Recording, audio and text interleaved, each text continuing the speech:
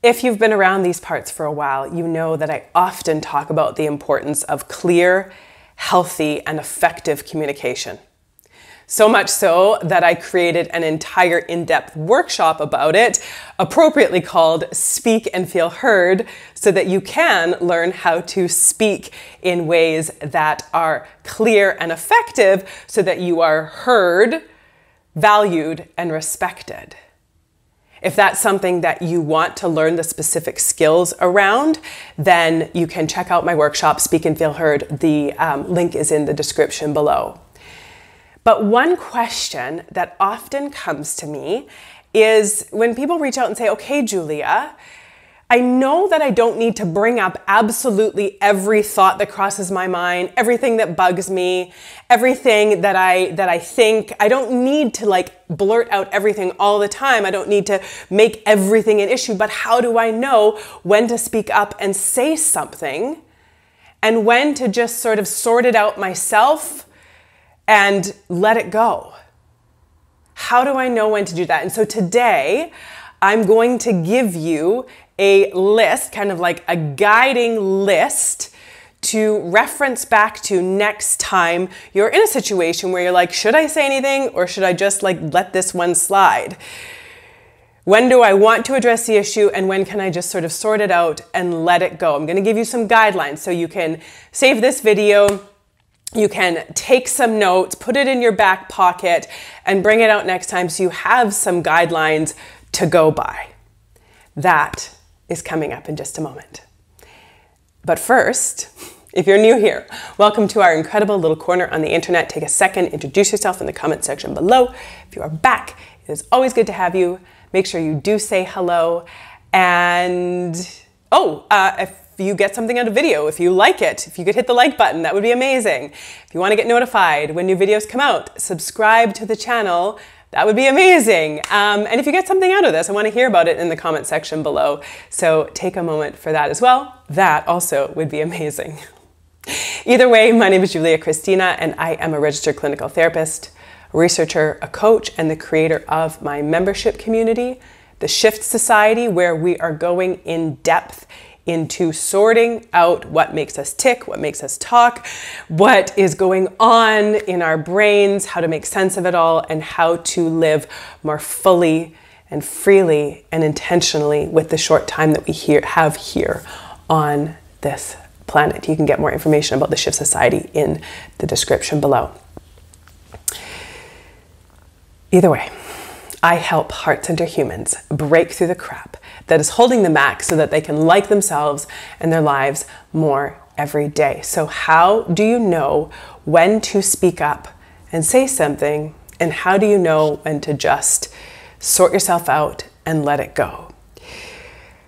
The first one it's time to speak up when you know, maybe even from experience, that you are going to regret not saying anything. So let's say that you're in a meeting at work and your colleague takes full credit for either your idea or for a joint project that you worked on together. And without wanting to like shove your way to the front and be like, no, that was me. How dare they say that? I was the one that did it all without, you know, being obnoxious about it.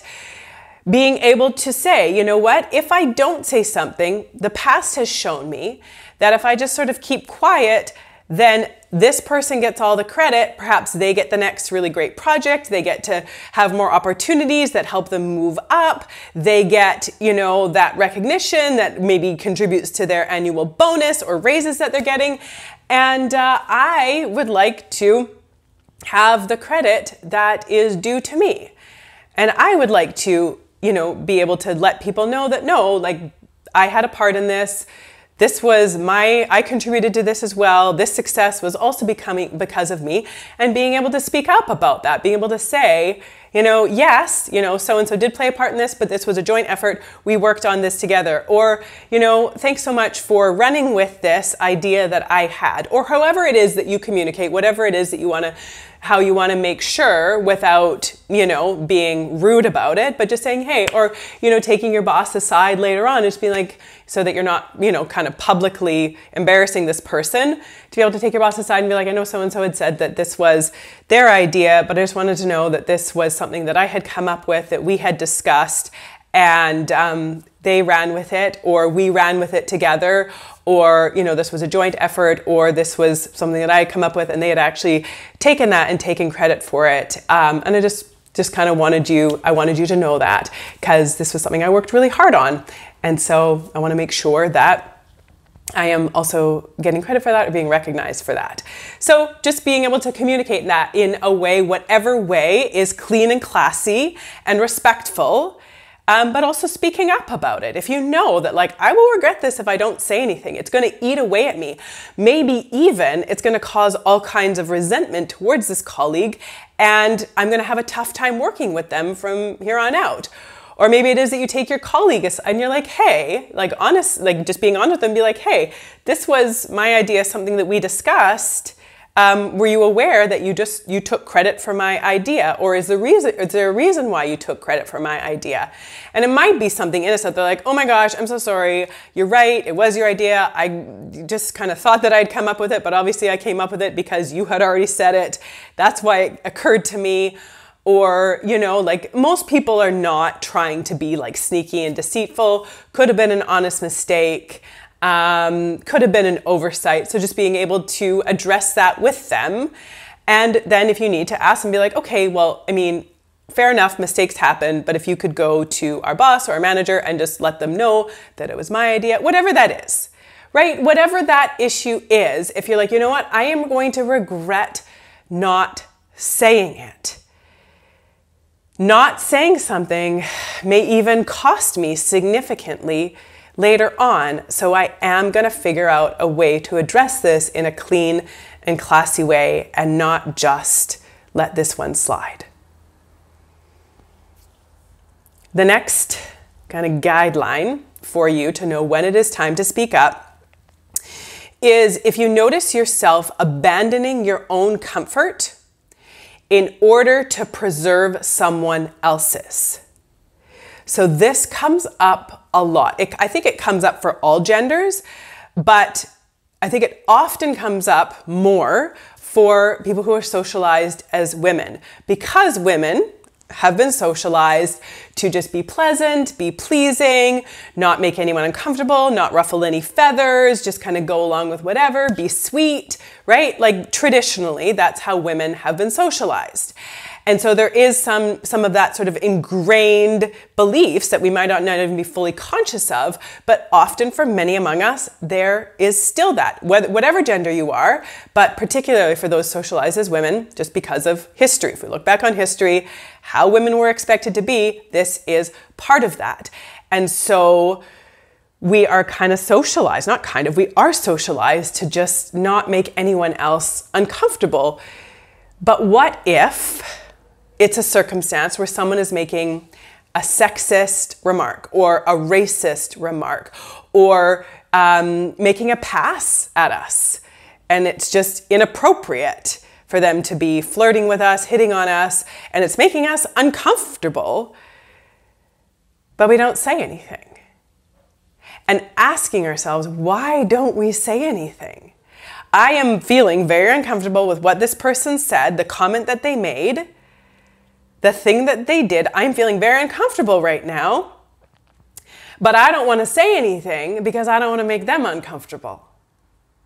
I am feeling really uncomfortable, but I do not want to say anything because I'm worried about making them uncomfortable. So I am trying to prevent them from becoming uncomfortable after making me uncomfortable. Instead of being able to say, you know what, that's not okay. That doesn't work for me. I don't like that. Please don't say things like that. Please don't do things like that. Please stop. Right? Being able to say, no, that's not cool. That doesn't fly here. Instead of just like laughing along uncomfortably or just sort of sitting there feeling uncomfortable and almost like you've been slimed. So, when is it time to say something? When someone says something that is inappropriate for you, that is making you feel uncomfortable, and you are trying to protect their comfort while meanwhile preserving your own. The next guideline of when it's time to say something is when something has been eating away at you for days. So let's say your partner makes some kind of comment something that just sort of bugged you. Maybe it's about your eating habits, maybe it's about um, your outfit, maybe it's about your cleaning preferences, maybe it's about the type of music that you like, whatever it is. Whatever that thing is, your comment, your partner made some kind of comment.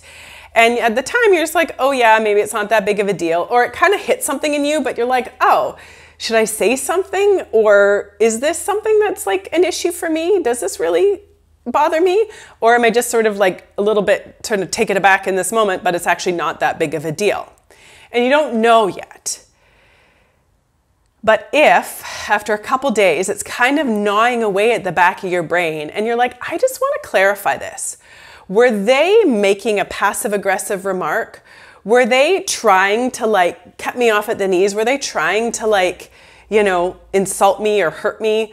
were they just sort of did the comment they make made me kind of think of something else that I just need to clarify because I'm not super clear about what's going on here and it's still feeling uncertain and you're still kind of thinking about it a few days later, then it's time to say something. It's time to bring it up, be like, you know what, you said this thing the other day and it's been kind of playing in the back of my mind and I wanted to clarify. Just wanted to clarify what you meant, what was going on, what was happening here. Then if that is the case, it is time to say something.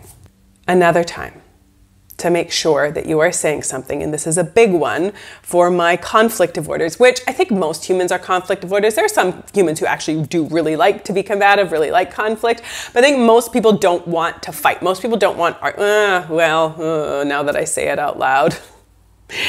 Not always, not everyone always wants conflict. But we look at kind of the state of the world right now. We look at the state of social issues, of issues of politics. Yes, some people do like to combat. Some people do like to argue. Some people do like that conflict. Um, but let's just make a statement that not every human being always wants to have conflict. So for those among us who tend to be people who shove things under the rug, who just like like it's like you're letting something go, but not actually letting it go. You're not addressing it, but it's festering. Right? You're not saying something, but it's like percolating under the surface and it's bugged you and you haven't been able to resolve it and it's kind of sitting there. And then something else happens and you don't say anything and it kind of gets under there. And then something else happens and and and you don't say anything and then it gets under there. And all of a sudden you've got this kind of big pile of crap under the rug and then you know one more thing someone kind of kind of comes and like steps on that pile or you add more one thing one more thing to the pile and the whole thing implodes or explodes and that's when you end up blowing up. Right? When it's just sort of building up and building up. You're not saying anything you're not addressing it you're not dealing with it and then you just like let it build up and build up and then you end up exploding. And that can be really harmful and often it's very harmful and detrimental to relationships instead of being able to just address things as they come up. Instead of letting it all pile up, being able to just sort of keep that tension from building by addressing things more a little bit more casually like if someone is making comment, made sort of like an underhanded comment and a joke at your expense instead of just being like, ha ha ha, and then putting on just being like, hey, like that doesn't feel good. Like, please don't do that. Or, you know, like I wouldn't joke about you in that way. I wouldn't kind of use that vulnerability and make fun of you like that. Um, so I know you, you might think it's funny. I don't think it's funny. I don't like it. Please don't do it. Right? So just being able to address things as they come up. Or if someone is always kind of being really snappy with you and you're just like taking it and taking it and taking it, instead of just being like, hey, like, don't I don't like it when you talk to me that way. Could you just be kinder? Could you just manage your tone? Could you, you know, just be more aware of the fact that you love me? I know that you might be stressed. I know you might have a lot going on right now, but remember, I'm on your side. Can you be kind? Because, you know, knowing that if the person's just always kind of snapping and always kind of short with you and always kind of just being like, not always, I shouldn't say always, but often that's coming in and you're sort of taking it, that resentment builds, that anger builds. you you start to kind of build that up underneath. And then one day you just snap and you're like, oh my gosh, you're always so mean. Why are you like this? right? Because you haven't addressed it, you haven't dealt with it as it's coming up. So the time to say something is when you find yourself often pushing things under the rug and that rug is just piling up ready to just like one more thing or one little bit of pressure on it and the whole thing comes spewing out.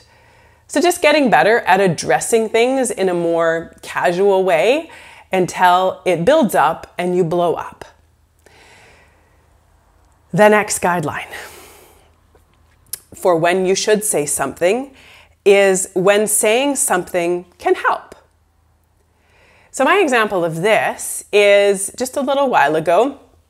My parents were out watching my daughter at one of her soccer games, and my daughter scored a couple goals, which was awesome.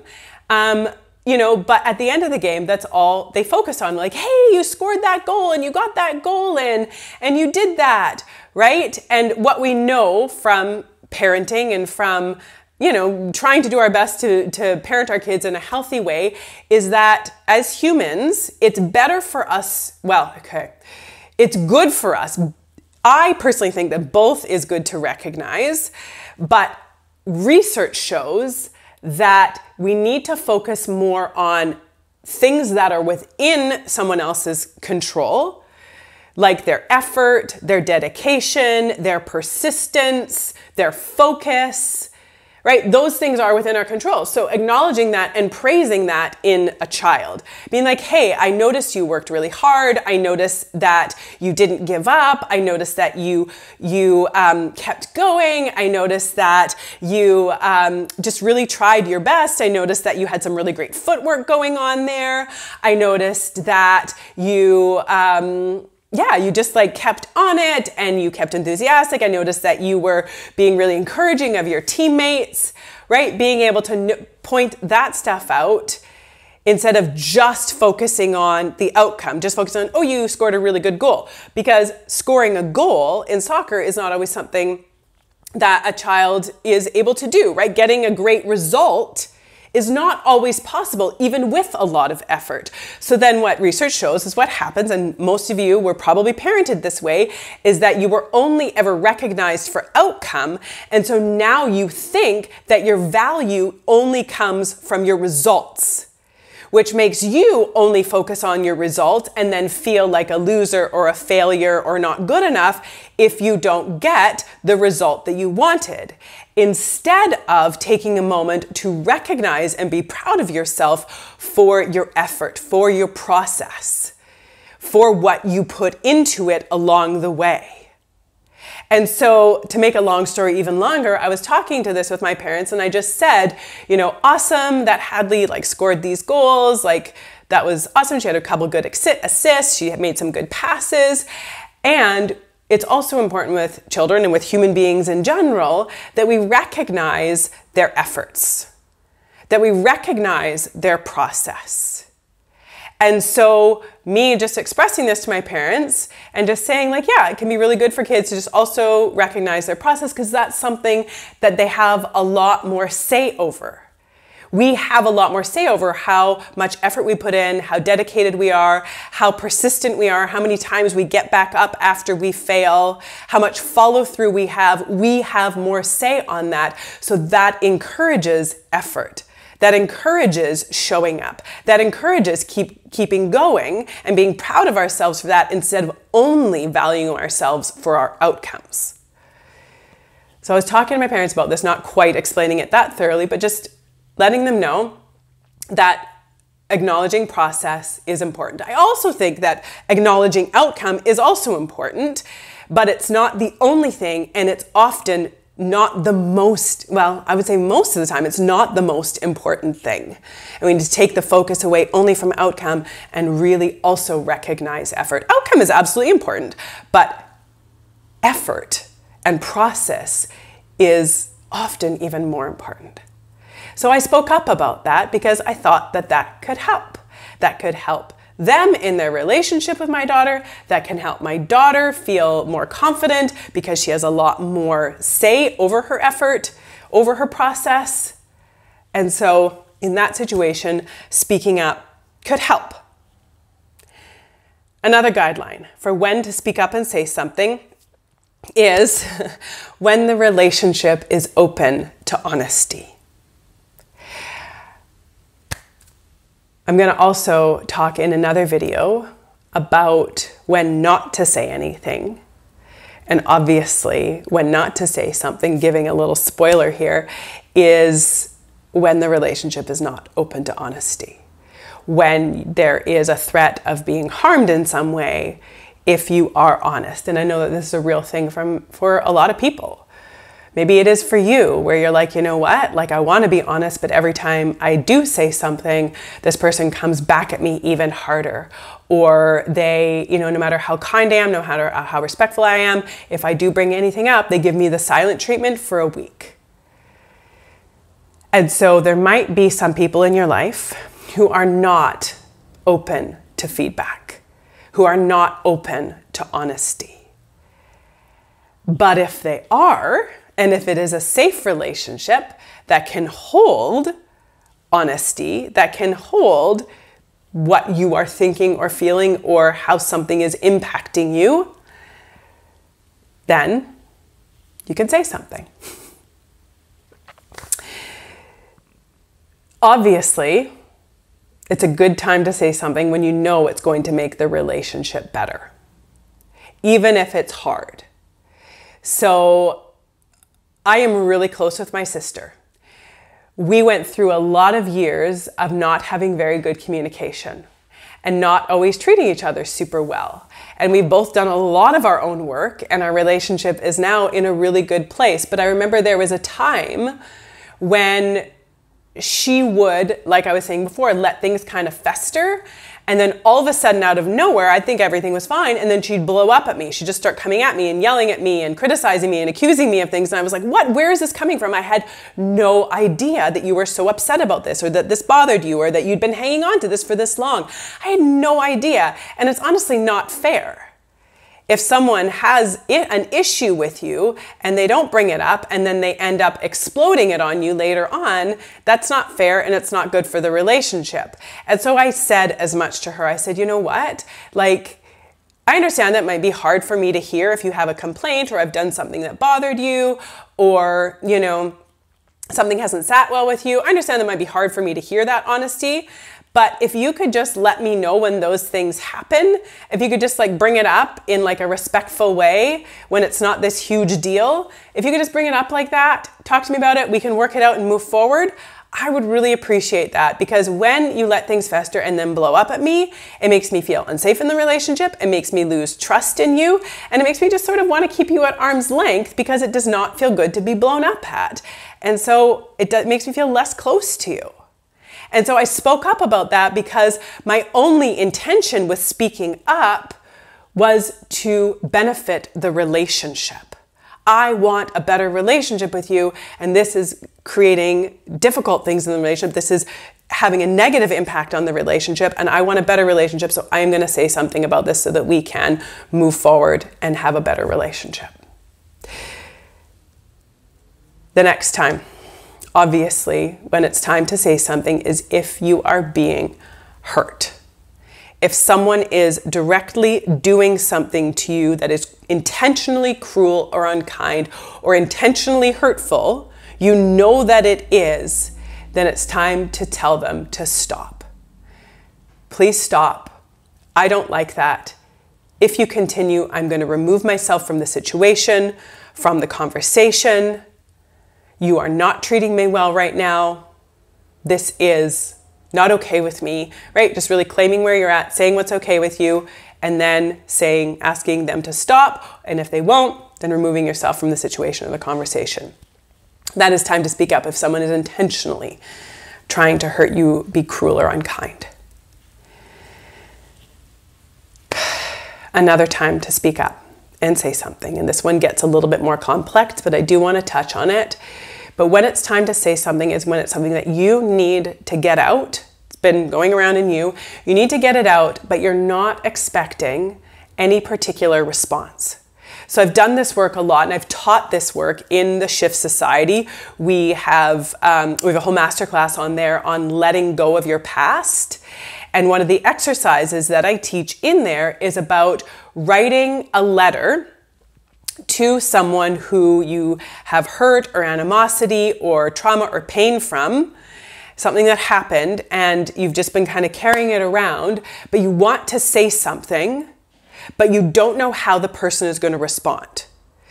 You don't know if they're going to take ownership, take responsibility, ask for forgiveness, apologize. You don't know, but you still want to say something. And so you write the letter or you have the conversation, but going into it, I wouldn't say that it's always appropriate to address this stuff with the person, especially if you have a specific expectation or need for a specific response or responsibility from them that you don't know or are probably pretty unsure you're not going to get. And so bringing it up is just going to result in more pain or hurt or re traumatization depending on the situation, then I would say no, it's not a great time to speak up about it if you have an expectation for a response that they likely won't be willing to or able to give you, then don't say anything. However, if you can go into it without an expectation of a certain response, just for you to be able to verbalize your truth, your experience, what that was like for you, what you went through, and just like leave it and being able to say, this was my experience, this is how it impacted me, this is why it was hard for me again, owning your own experience with it, and that I just needed to let you know. In case you didn't know, I needed to let you know for you to be able to verbalize that without an expectation of a response. Then it would be appropriate to say something. Some guidelines for you. Take a second. Let me know in the comments which one are you like, yep, that makes sense that is one that I'm definitely going to remember for next time. It's going to help me know when to say something. Let me know which one or if there's a couple of them. If you want to learn how to speak up in a way that is respectful and assertive, and also in a way that people will listen to and respect, then get my masterclass, Speak and Feel Heard It's going to teach you how to speak and feel heard. Get on the waitlist for the Shift Society. Let me know what connected with you. Always good to have you here. Until next time, take good